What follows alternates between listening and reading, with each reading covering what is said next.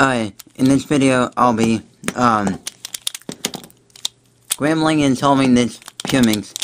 While I'm doing that, I'll be talking of, well, talking about some few people, uh, that you, you should check out. These are two channels that, um, I think deserve more subscribers and more views because of the amazing work.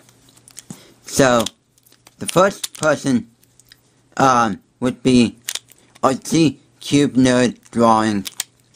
Um, her channel is of um, time-lapse drawing videos, which were, which are, the drawing are fantastic. They're like one of the most realistic drawings. Sort of like this one right here. And, um, well, that, it's just fantastic of how, well, she does this. And how well she draws. But, nonetheless, it's, her videos are really fantastic. You should go check her videos out.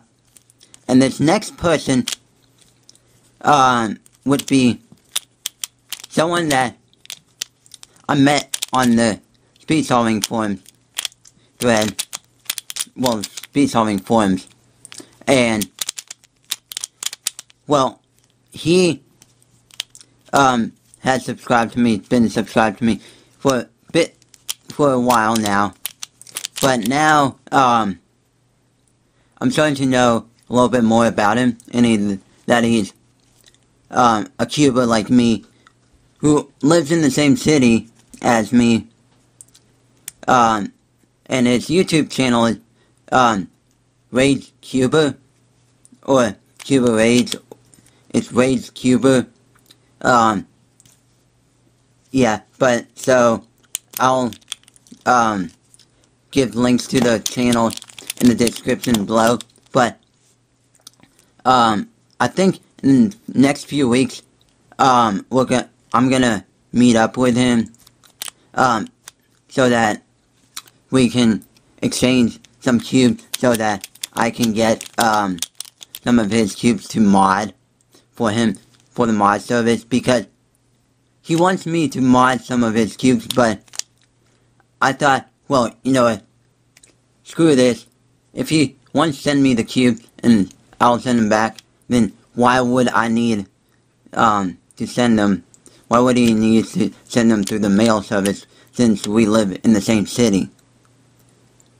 Since we can just walk up to each other and um, um, hand each other the cube in person. So, yeah.